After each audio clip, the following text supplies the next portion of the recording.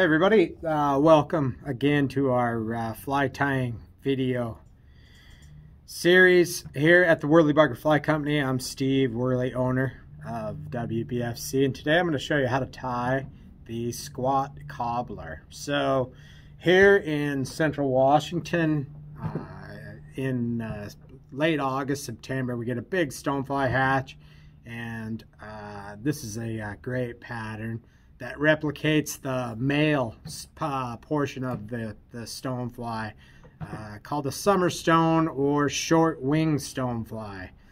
Uh, this is a real abundant stonefly here in central Washington and uh, it does a great job. It, it, creates a great silhouette, foam body, um, purple with a uh, red uh, hot spot here.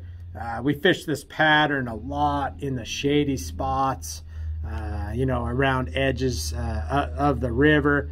So the color really uh, can vary uh, depending on how you want to tie it. Really more of a uh, great silhouette pattern, you know, that rides low on the water and, pre and presents a really, really good silhouette to the fish. So let's get to tying.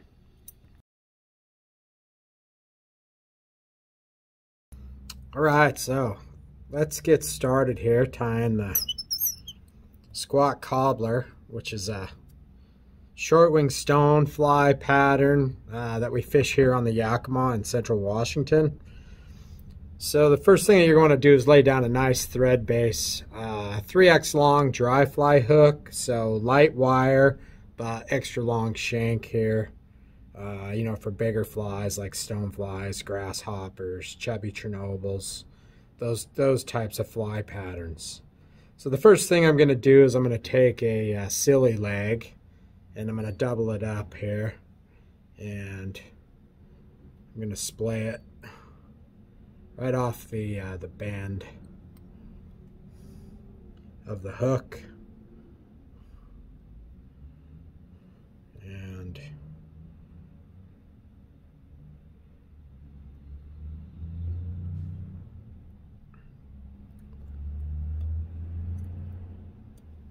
take and tie it in.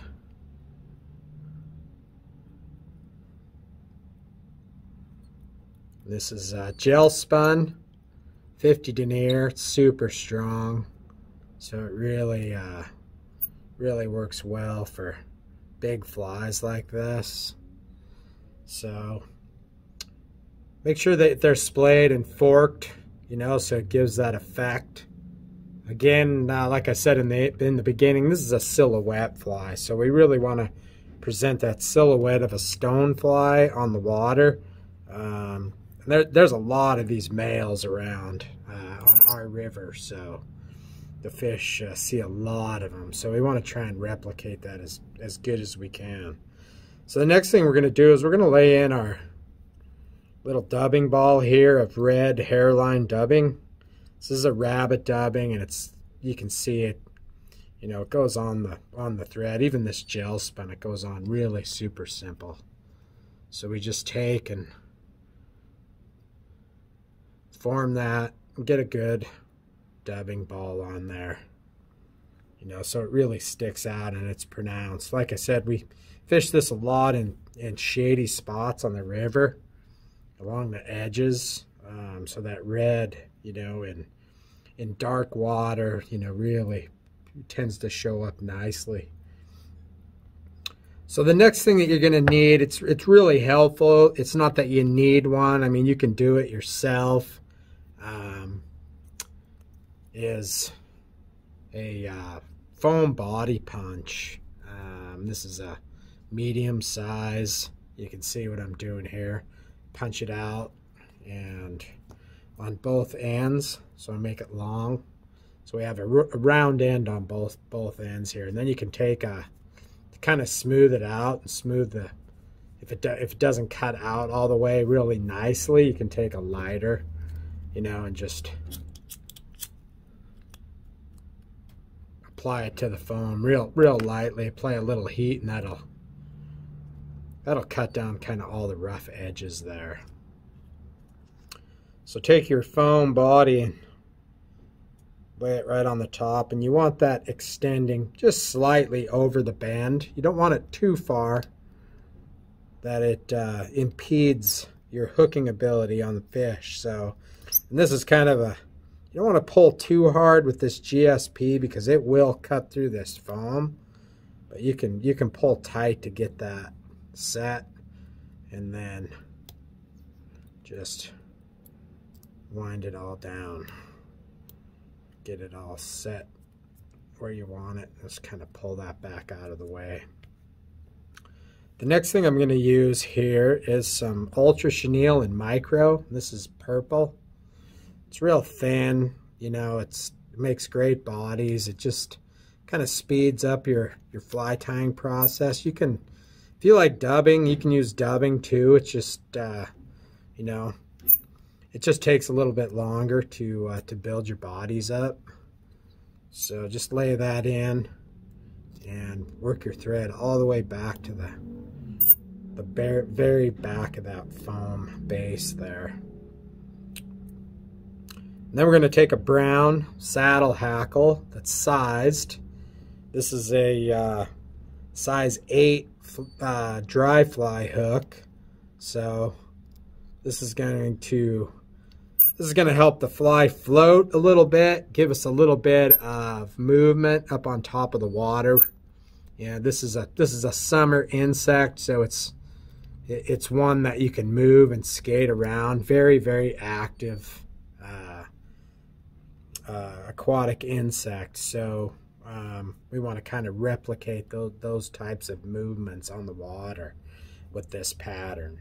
So right now your fly should look like this. Okay, so the next thing we're going to do is we're going to take and we're going to get that chenille underneath that foam and we're going to start wrapping it forward down the shank. And you want to leave about a quarter of the shank room there. Tie that down. And then just kind of push just kind of get keep that out of the way because you're gonna you're gonna fill in some spots with the rest of the chenille and that way you won't have to retie it in. If it gets in your way you can always cut it out and, and retie it in but I just leave it there. So the next we're going to take this brown hackle and we're going to palmer it down the body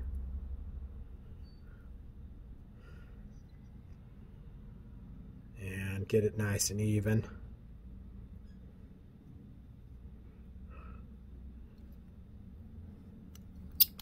And tie that off. And then snip off the excess there and you can use that for your for your next one. Might make a a few more thread wraps. Sometimes those little fibers are sticking in there. Okay, so the next thing we're going to do is we're going to pull our foam body down over the top. And again, this GSP, kind of light, the gel spun, it really grabs nicely and it will it'll bind that right to the to the shank easily. And I'm just gonna make a half hitch there and lock that down in place. Okay so the next thing that we're to do with the squat cobbler is we're to add an underwing to it because this fly rides low in the water and we're using a, a poly wing uh, in, in white or polar bear, um, it's pretty bright. I like to use this. It's called wing and flash. It's angel hair basically. Uh, it's a it's a kind of a flashy material. And we'll use this in black and we'll, we'll take a shank of it and we'll We'll cut the ends so they're even. And we'll tie these in backwards. And what this what this really does is it help really helps secure the wing and uh, it won't pull out because it's going to be it's going to be tied in double. So bind that down where you left off with your body. And and then pull that pull that wing back over the over the foam and then make some thread wraps in front of it. And that should that should bring that wing down. And it doesn't matter if it's long you can can trim it up later. It's all right if it's you can do we'll do the final touches right at the very end of the fly here okay so the next thing that we're going to do is we're going to use widow's web Again, just this polypropylene yarn. It's a floating yarn. You know, adds flotation. It's what uh, the wing on all your chubbies and, and parachute style flies is made from. Widow's Web is just the trade name. So uh, just take that and we're going to tie that in the same exact way. So even those ends and then make a few thread wraps, pull tight. That'll really pull that that poly yarn down in there. Trim that excess down. Pull over the top. And bind that wing down. So what that does is instead of that wing laying way, way up in low water, you know, where it's really visible to fish, it brings that wing down where it's visible to uh, the fishermen and not so much the fish. And then that, uh, that underwing of black will help hide it. So your poly yarn is going to be is going to be a little bit longer, so we want that a little bit shorter than our underwing. Okay, it's still still sticking up there a little bit, but the beauty of the squat cobbler is about to uh, be un unfolded here. So in our next couple of steps. So make sure that that is bound down really well. And you have this piece of foam still sticking off the end here. So what we want to do is work our thread over the top of our foam right up to our eye. It should be right back behind the eye of the fly. All right, so the next step on our fly here is we're going to add our front and back legs. So we're going to take a silly leg, just like we did uh, with our tails here. We're going to double it up. We're going to lay that right on the top. And then we're just going to kind of pinch it between our fingers. And lay a couple of thread wraps over the top. And then the weight of the bobbin will keep that material in place. And then you can chop the uh, loop in the front there and then you can take and pull your legs down over the along the side of the body where you want them placed kind of get them in place where you want and then you can take and bind them down nice and tight this gel spun will lock them right into place so they don't go anywhere.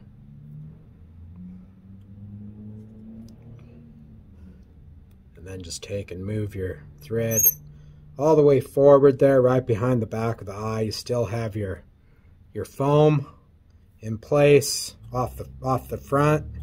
Now we're going to take this piece of chenille that's been hanging here and we're going to fill this little slot right in here in the thorax of the fly. We're going to fill that in with this chenille. And make a few wraps, fill that body in. That fills in the front of the fly.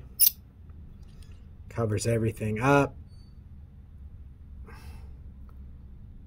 And get those legs out of there so you don't tie them down. And once that's bound down, then you can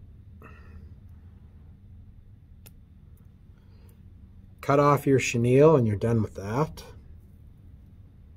Okay, so now you're wondering what is going on with this piece of foam here. So the thing that I like, you know, about poly yarn is it's, like I said, it's a floating yarn, so it really helps in flotation. This fly floats like a cork with the, uh, the hackle and the foam, uh, you know, impregnated into it. Um, and along with the poly wing, but when that polywing is, is sticking way up, we're fishing this pattern in lower lower water flows in September, um, we like to have that fly down and not have that wing sticking way up. So bring your thread back right to the base of the wing there. And then we're going to take and we're going to fold this foam piece over back over the top, creating kind of a bullet head style. And then take and again run your GSP through the foam, but don't pull too tightly because it will cut through it. Make sure you're not binding your legs down.